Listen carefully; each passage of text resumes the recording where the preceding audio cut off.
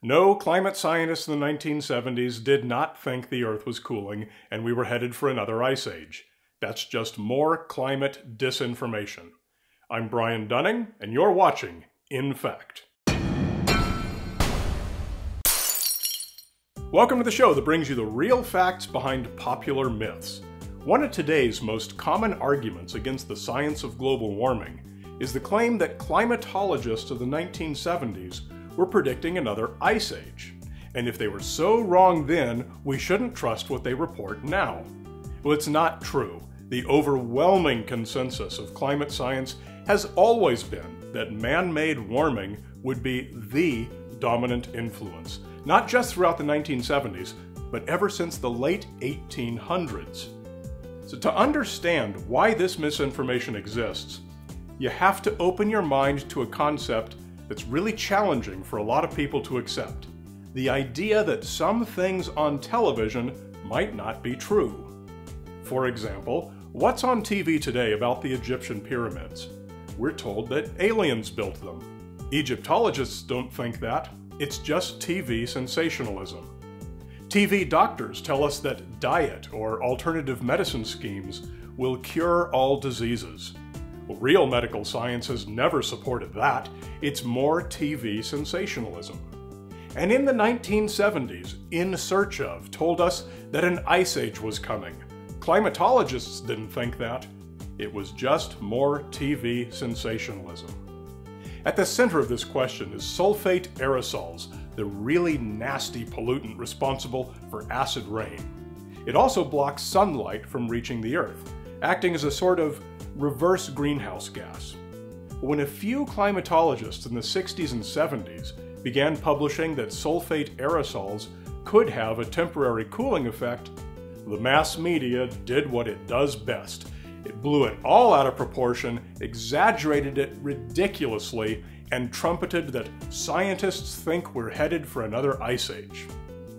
What you're seeing here is a collection of mass media articles on a modern website dedicated to the denial of climate science, misrepresenting these articles as reflecting the scientific consensus of the day. In fact, all these were mass media fear-mongering and sensationalism. But those who reject climate science today still publish these lists. By 2008, concern about this misinformation grew to the point that a group of researchers did a deep survey of all the climate related scientific publications between 1965 and 1979. What they found is that of all those articles, 10% found that cooling would temporarily outpace warming over the coming decades. 28% found it too close to call, and 62% remained confident that the warming would outpace the cooling.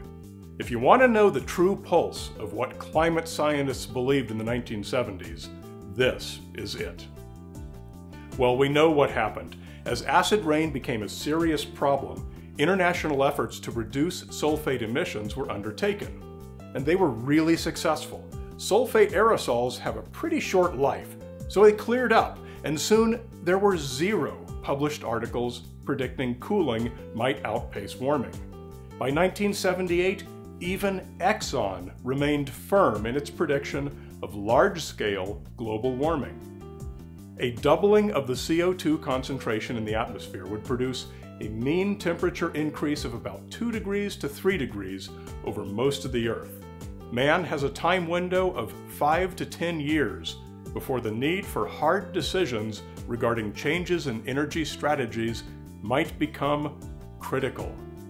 So, no, climate scientists in the 1970s did not predict global cooling. Only 10% of them thought for a short time that cooling would temporarily outpace warming.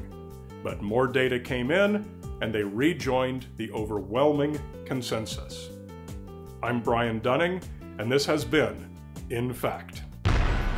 In Fact is made possible by financial support from viewers like you please visit infactvideo.com.